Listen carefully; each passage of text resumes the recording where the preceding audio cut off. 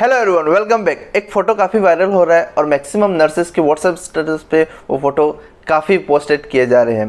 जिसमें मेंशन किया गया है nurses will be called as the nursing officer and BSc nurses called as a junior doctors और इस फ़ोटो में आईएनसी का लोगो के साथ स्पेशल मेंशन किया गया nursing officer and junior doctors तो क्या ये बात सच है या रॉन्ग है? सबसे पहले नर्सिंग ऑफिसर के बारे में डिस्कस करते हैं।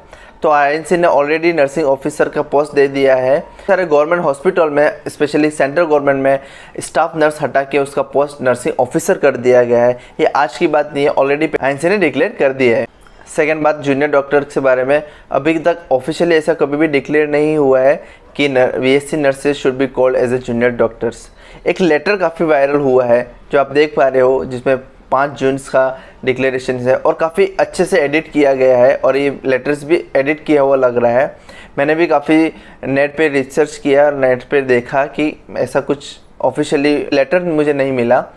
और उसमें भी जो लेटर आप देख रहे हो, उसमें भी मेंशन किया है कि it will be called as a junior doctors अभी तक कुछ लेटर्स में स्पेशली मेंशन नहीं किया है कि बी एस सी नर्सेज को जूनियर डॉक्टर की तरह से डिजिग्नेशंस मिलेगा और इट विल बी कॉल्ड करके।